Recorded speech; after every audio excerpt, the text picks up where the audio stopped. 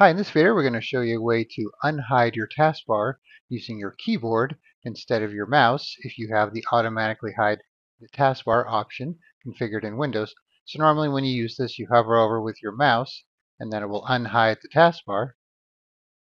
But if you're working on something, let's say you want to see all the way down to the bottom of the screen and it keeps on bringing the taskbar back up, uh, you could use this tool here to change that to where you have to press a key in order to restore the taskbar. Alright, so what we're going to use is the Windhawk app. So we've used this for many videos, so there are a lot of uh, cool features and cool things you could do with it. So how it works is you install the Windhawk app, which is free. Then you add mods, which will customize or tweak the way Windows works. So you have your home screen, which shows your installed mods and some featured mods.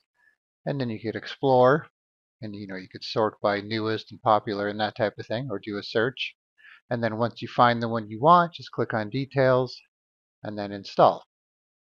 Alright, so we already have the one installed here. So it's called Taskbar Keyboard Only Auto Hide. But right now it's disabled, so I could enable it from here or go into Details and enable it here. Then we have some settings here. So this fully hide setting I don't really get because it says taskbar is normally hidden to a thin line which could be clicked to unhide it but I don't see a thin line down here, so you can see how it works for you. All right, so now that it's enabled, you can see we put the mouse down there and it doesn't come back, but if I press either the Windows key or Control Escape, it'll bring it back. It does pop up the uh, Windows Start menu, unfortunately, no matter which one you press. If I do Control Escape, it does the same thing, but it brings the taskbar back. And then you can do what you need to do from here like that.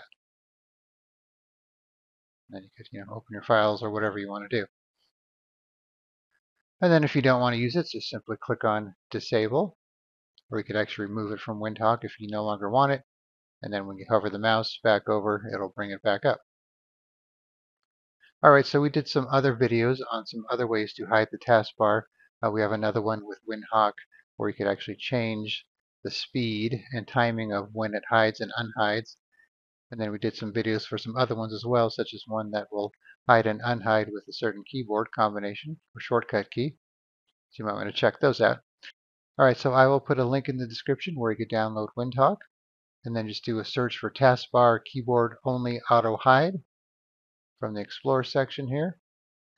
Install it and enable it, and you're good to go. And then one thing with Windhawk is that it needs to be running down there in the system tray. So if you find that your mods aren't working, just come here and check and it might have closed itself. And it should be set to automatically start with Windows when you install it. Alright, thanks for watching and be sure to subscribe.